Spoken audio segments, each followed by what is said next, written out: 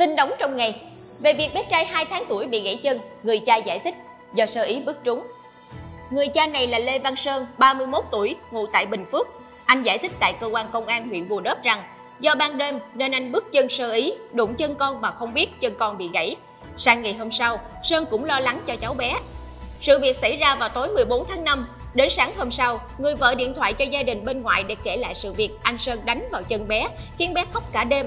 Sau đó, ông ngoại của bé đã chạy đến và đưa hai mẹ con lên bệnh viện huyện chụp x-quang thì biết cháu bé bị gãy xương đùi. Theo đó, tối ngày 15 tháng 5, gia đình đăng câu chuyện lên Facebook và được hàng ngàn người chia sẻ.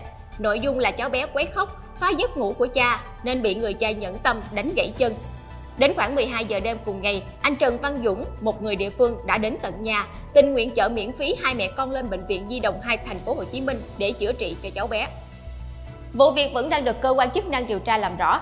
Thưa quý vị, thông tin vừa rồi cũng đã khép lại chương trình điểm tin nóng ngày hôm nay. Cảm ơn quý vị đã luôn quan tâm theo dõi. Hãy nhớ nhấn nút like và subscribe kênh Sun TV để cập nhật những tin tức mới nhất. Kính chào tạm biệt và hẹn gặp lại.